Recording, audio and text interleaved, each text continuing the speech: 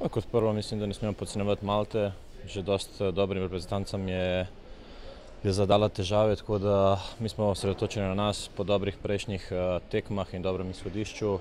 Upamo na pozitivni rezultat in seveda se bomo fanti vse potrudili, da, da bodo tri točke ostale doma.